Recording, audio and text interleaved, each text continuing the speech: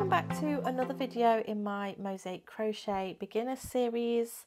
In this video we're going to talk about um, yarn ends because these can scare a lot of people out of doing mosaic crochet but there are things that we can do to um, make the work easier. We can use these ends to create tassels for example. We can crochet them into a border and we can also crochet them in as we go along.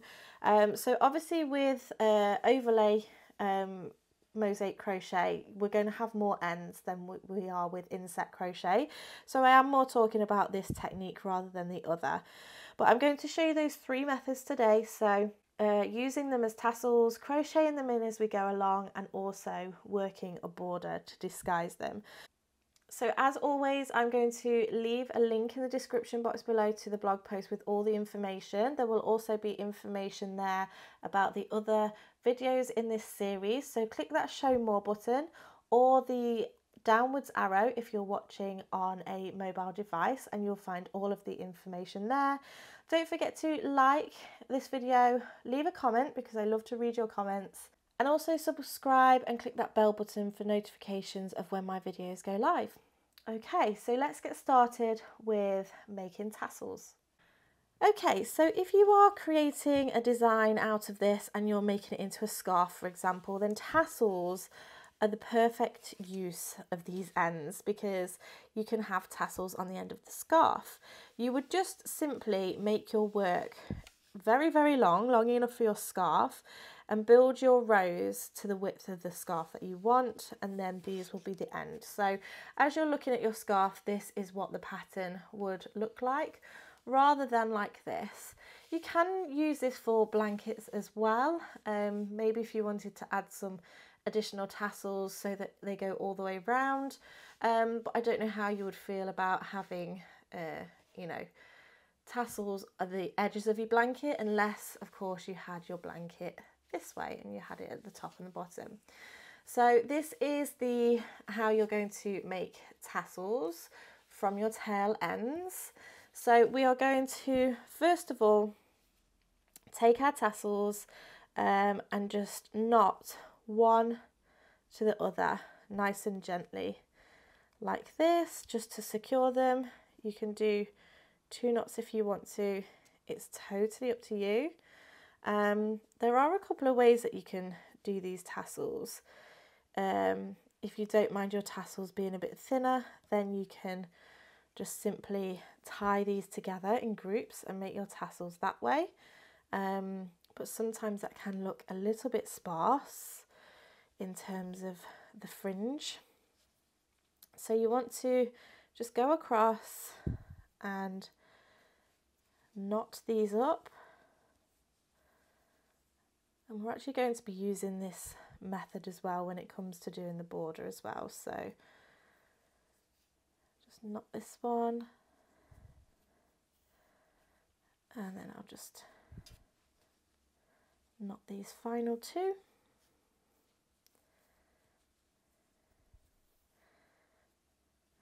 Like so. So they are a little bit more secure.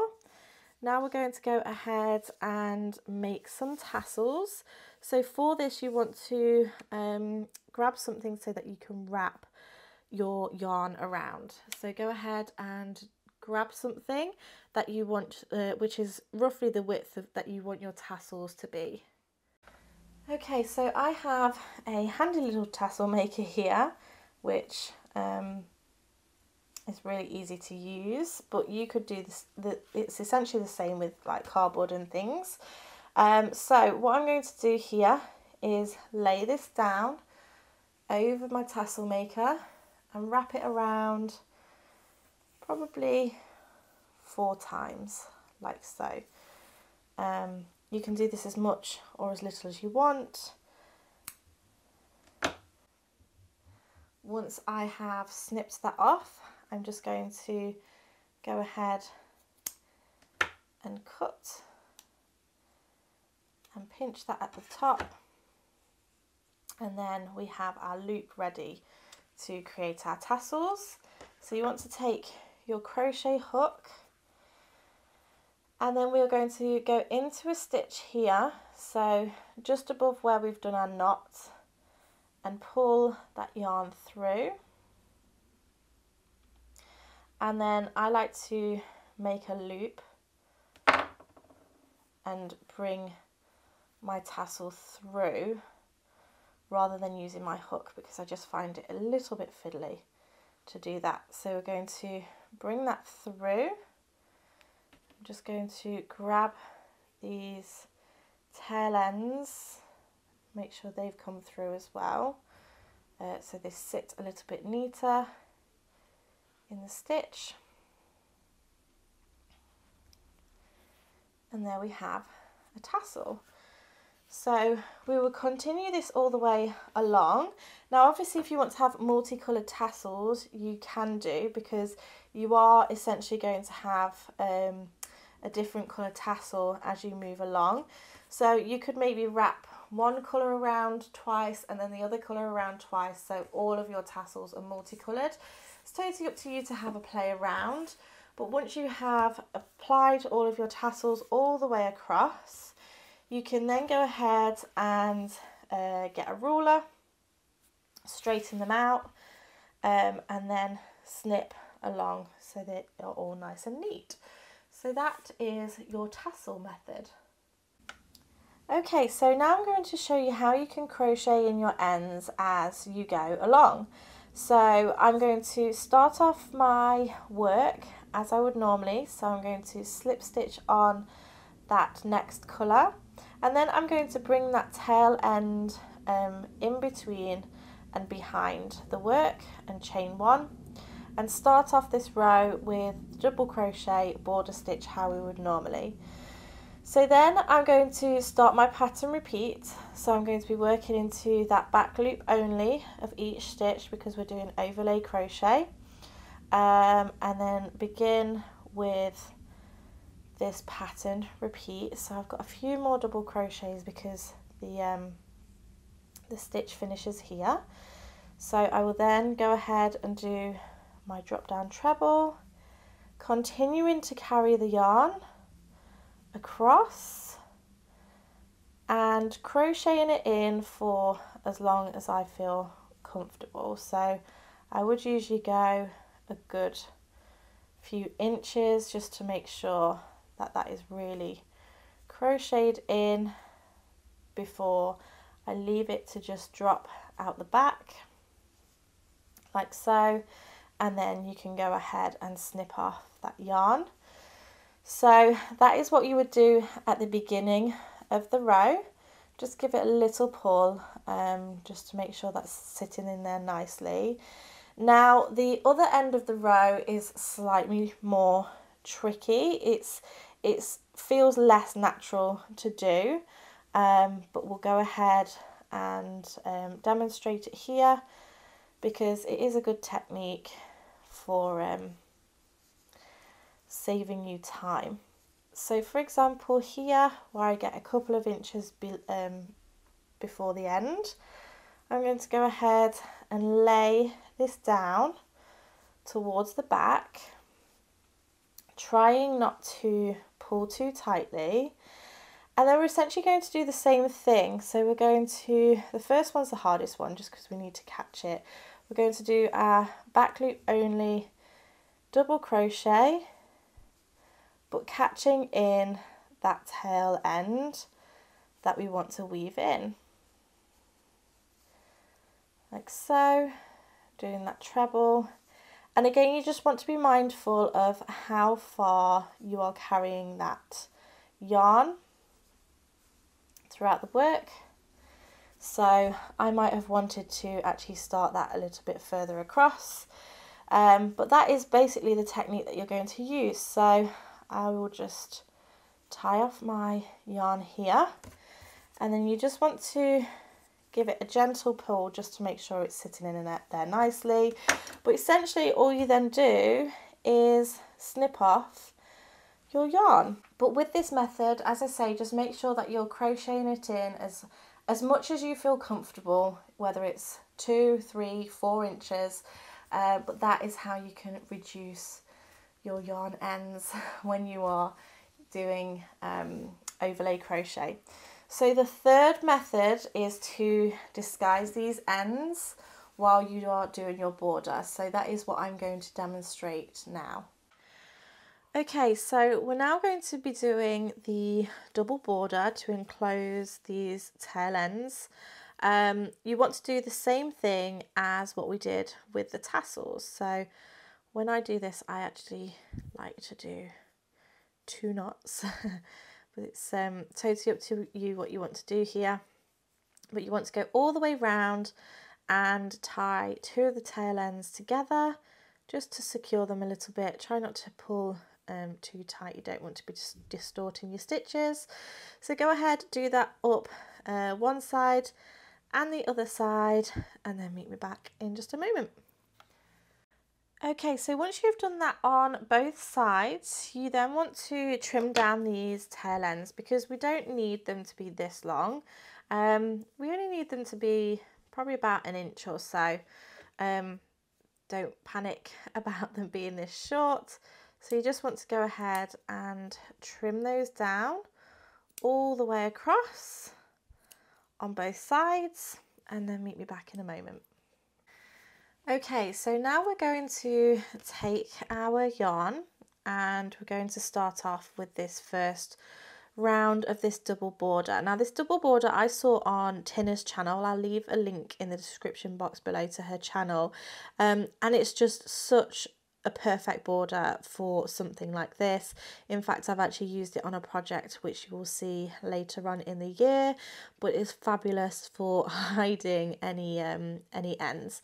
So first of all, what we're going to do is just work along the top of the work. So I'm just going to create a slip stitch just here. And then we're going to slip stitch in every stitch all the way around. So as we're working our slip stitch, we want to be just mindful that we're not um, creating these stitches too tight because we are going to want to work into them. So we're going to slip stitch all the way to the end of the row. And then once we get to the end, we're also going to slip stitch down the raw edge. So don't forget your last stitch just here. And then we're going to turn our work and then we're going to work down the row ends. This can be a little bit tricky because we obviously have those tail ends there, but we basically want to be working into each of the row ends. So again, not working too tightly and just going into each of those row ends with a slip stitch. And this is essentially what you're going to do all the way around your work in order to build the foundation for our double border.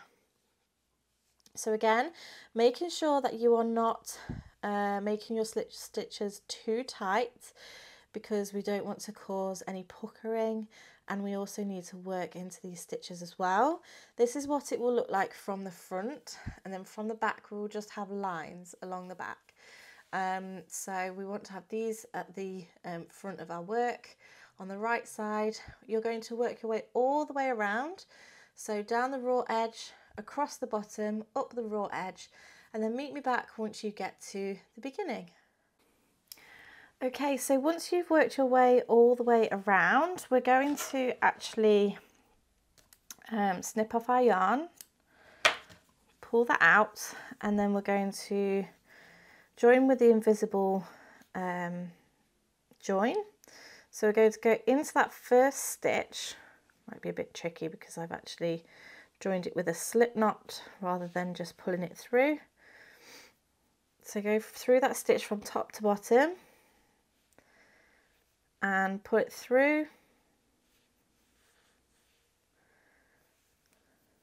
Like so. And then go through this stitch from top to bottom. Take out this tail end here. So this last stitch that we created just the top loop. Yarn over pull through. And there we have joined Okay, so now you've worked your way all the way round, we're now going to work um, into the chains that we've just made. And what we want to do here, you can either use your um, colour A or colour B, it's totally up to you. But we're going to start by working with the wrong side facing us into these uh, stitches that the slip stitches have made on the back. We're going to drop down half a hook size as well, um, just because it makes things a little bit neater. And then we're going to start off by chaining um, two or three, depending on your preference for a treble crochet. So that will count as your first stitch. I've chained two. Then we're going to go into the next stitch. So yarn over into that next uh, stitch, the back of that slip stitch and do your treble crochet. Remember I'm talking in UK terms, so in the US this is known as um, double crochet. So you don't want to be pulling too tight on this stitch because we still need to work into the stitch on the opposite side and we're going to work our way all the way up to the corner. So just one treble crochet into each stitch all the way up to that corner section.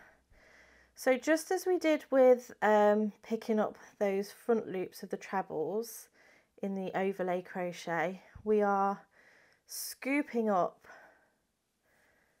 that, um, that bar in order to work into it.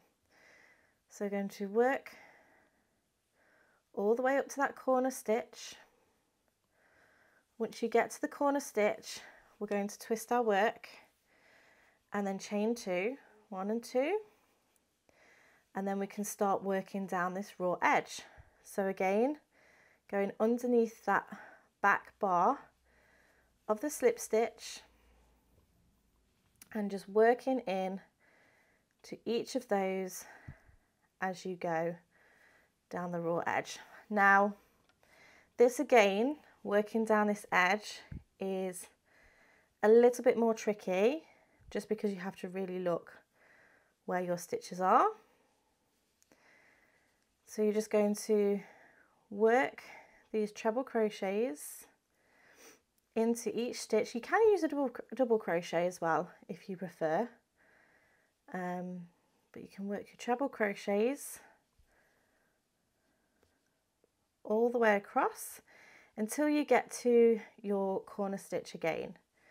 So once you get to that last stitch, you're going to chain two rotate your work and then carry on down the opposite edge. So you're going to work round down the raw edge, across the bottom, up the raw edge, and then to your last stitch here, and then meet me back once you're ready. Okay, so now you've worked your way all the way around, we're going to go ahead and snip off our yarn, pull that through, and then we're going to go into the top of the first treble that we made. From the back to the front pull that through. And then from the back to the front of the last stitch pull that through for an invisible finish. Okay and now we're ready to move on to the second part of our border. So we're going to have the right side facing us this time so it is worth noting that you can go ahead and add more rows to this if you want to. So you could add an additional row, additional three rows, depending on how big your work actually is. When it comes to the corners, you work a treble, chain two and a treble um, as you go up. But um, I'm going to leave it as one for now. And now I'm going to turn the work over and then we're going to begin doing the same but on this side of the work. So this time we're looking at our slip stitches, which is this stitch here, but we're only going to work into the top loop. So this top loop, going to yarn over and pull through, chain two to begin with, and then we're going to treble into each of those um, top loops. So I mean technically it's it's the back loop of the stitch um, but yeah it, as we're looking at, at it it's like the top and the bottom so that top loop is where we're working into with our treble crochet like so all the way to your corner stitch and then once we get to the corner we're going to do the same as we did on the other side.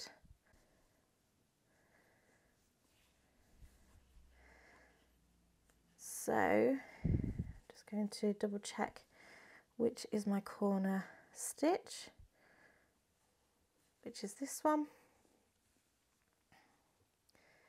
So I'll do my treble in there, chain two, rotate the work,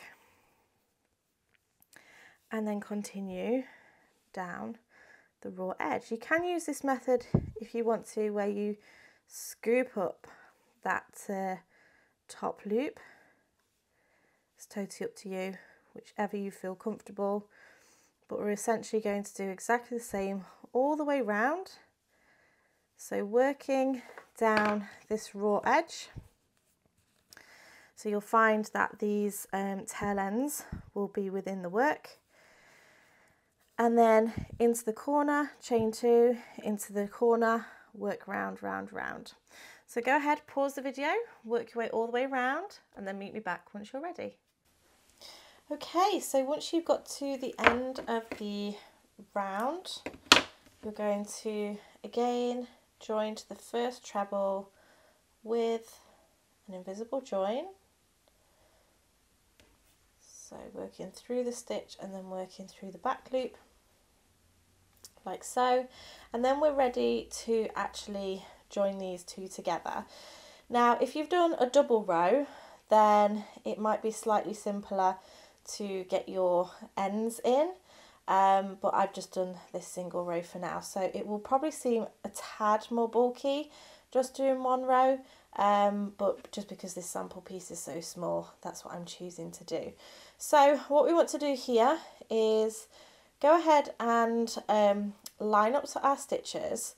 So you might want to do this towards the corner. And what we want to do is work into the back loop and the back loop of each stitch. So the ones that are closest together. And we're going to do a slip stitch. So pulling that through and then going ahead and going into the next stitch, back loop, back loop, slip stitch, back loop, back loop, slip stitch. Just working into the corresponding stitches from the front and the back.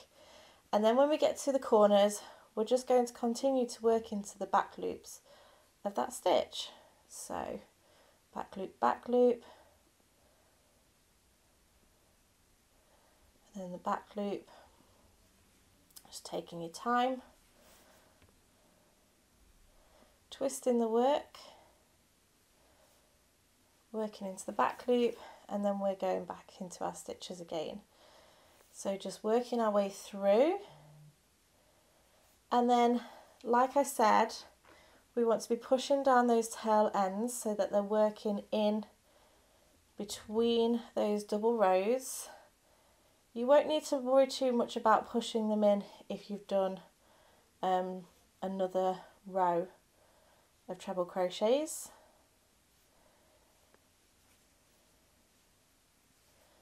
But you can see that I'm just having to push them down a little bit as I'm working these stitches.